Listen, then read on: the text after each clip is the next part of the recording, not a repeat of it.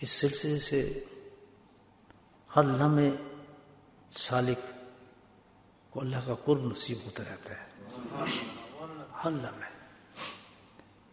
اس کے اسباق یعنی لیسن، سبق بہت مختلف ہیں دوسرے دوسرے سلاسل سے۔ ان کو لطائف کہتے ہیں۔ لطائف لطیفہ قلب لطیفہ روح لطیفہ سر لطیفہ خفی لطیفہ اخبار لطیفہ نفس لطیفہ قلبیہ۔ سات اسباق ہیں۔ یہ سات دروازے اللہ تعالیٰ نے انسان کے جسم پہ فٹ کیے ہوئے ہیں۔ مشاق نقش بند الحمد للہ ان دروازوں سے اپنے مریدوں کو لے جاتے ہیں اوپر۔ اور یہ ساری چیز جو ہیں بے کیف ہے یاد رکھیں۔ اللہ سبحانہ تعالیٰ نے اس کا مزہ نہیں دیا ہمیں۔ جب سیب کھاتے ہیں، مزہ آتا ہے نا؟ دل کرتا ہے اور کھائے اورنج کھاتے ہیں، اس کا مزہ آتا ہے، دل کرتا ہے اور کھائیں۔ کیلا کھاتے ہیں، اس میں اللہ نے مزہ رکھا ہے، دل کرتا ہے اور کھائیں۔ ہر چیز میں اللہ نے ٹیسٹ رکھا ہوا ہے۔ ہر چیز میں اللہ نے ٹیسٹ دے دی ہے۔ وہ ٹیسٹ ہمارے خواہشات کو بڑھاتا ہے۔ ہم اس ٹیسٹ کو لینے کے لیے دوبارہ وہ چیز پھر کھاتے ہیں۔ پیٹ بھرا بھی ہونا آدمی کا، لیکن ٹیسٹ کے لیے انسان کہتا ہے، چلو تھوڑا سا اور کھا لیتا ہوں۔ تو اس طرح ہر چیز دنیا کی جو آپ کو ملے گی نا، وہ ٹیسٹ لیس نہیں ملے گی۔ اس لیے انسان دنیا میں گم ہو جاتا ہے۔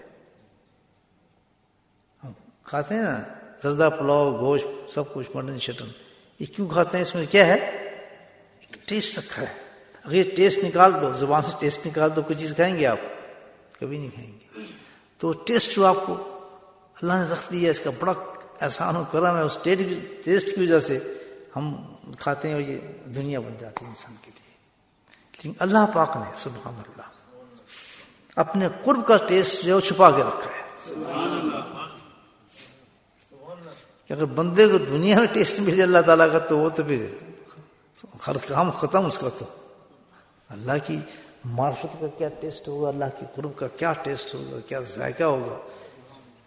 جس وقت یہ بندہ اسباق طے کر رہا ہوتا ہے، تو یاد رکھیں یہ چیز، اس کو حضرت مجد نے فرمایا، بے چگوں فرمایا ہے کہ یہ پورا سلسلہ جو ہے، یہ ٹیسٹ لیس ہے۔ یاد رکھیں، یہاں ٹیسٹ نہیں ہے۔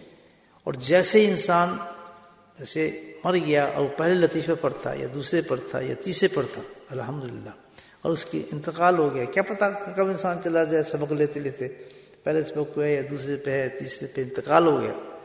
تو جس وقت انتقال ہو جاتا ہے تو الحمد للہ اس وقت اللہ سبحانہ تعالیٰ اس لطیفے کا قرب کا ٹیسٹ انسان اللہ پر پھر کھولتے ہیں انسان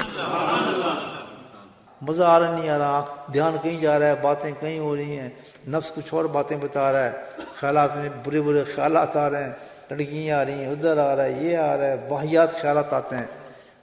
ننگی عورتیں آ رہی ہیں۔ خیال میں انسان بڑی بڑی چیزیں آتی ہیں، بہت گندی چیزیں آ جاتی ہیں۔ بڑے بڑے خیال آ رہے ہیں، سبحان اللہ۔ جتنے بڑے خیال آ رہے ہیں، تو سمجھ جائیں سمجھ جائیں کہ الحمدللہ اتنے ہی قریب ہے اللہ تعالیٰ کی۔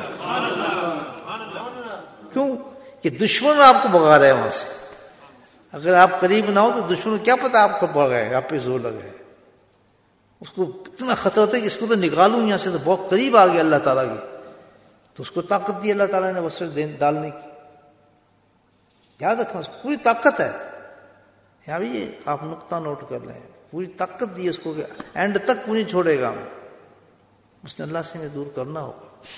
ہمارا کام ہے کہ بس الحمد للہ اتنا پکا اپنے ایمان کر لے انسان۔ اللہ کے ذکر کے ساتھ۔ کہ جو کچھ بھی ہے، کچھ بھی ہے، بس ہمارا کام تو ایک ہی ہے، اپنے مولا کو یاد کرنا ہے۔